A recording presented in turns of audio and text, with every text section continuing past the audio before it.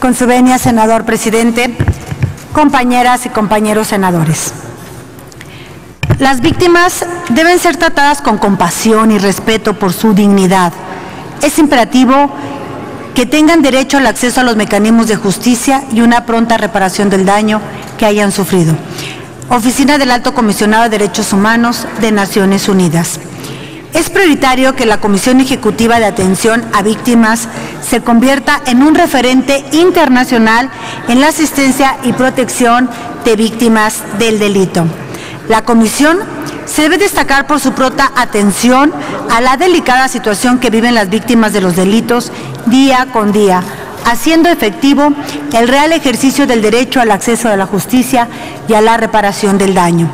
Adicionalmente, es deber de la Comisión la plena coordinación con las instancias de gobierno de la República encargadas de la política de atención a víctimas y se deberá distinguir por su sensibilidad institucional con las comisiones de derechos humanos, tanto del orden nacional como del orden de las entidades federativas.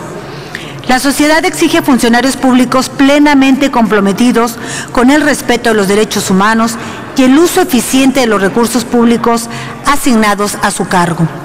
Exige instituciones libres de corrupción y de cargas burocráticas innecesarias exige, en suma, funcionarios públicos de primer nivel que sean sensibles a las necesidades de una sociedad agraviada por la delincuencia organizada y por los delitos de mayor o de más alto impacto social. Por tal motivo, si bien es cierto que la ley ha presentado un gran avance social, también lo es que tiene diversas áreas de oportunidad en los ámbitos de aplicación. Particularmente, destaca lo relativo a la indemnización de víctimas y a las medidas de apoyo en materia de alojamiento y alimentación, donde se han presentado diversos casos de retraso en la entrega de dichos apoyos a través de las comisiones estatales de víctimas. En este tenor, de ideas, la presente iniciativa propone reformar el artículo 38 de la Ley General de Víctimas con el objeto de que en el caso de no poder brindar el alojamiento o la alimentación señaladas, las instituciones otorguen directamente el recurso económico a las víctimas para que ellos contraten dichos servicios en su elección, de acuerdo a los, tabuladores que se definen al respecto. Con ello, refrendamos nuestro compromiso de fortalecer el Estado de Derecho y garantizar los derechos humanos de las víctimas del delito.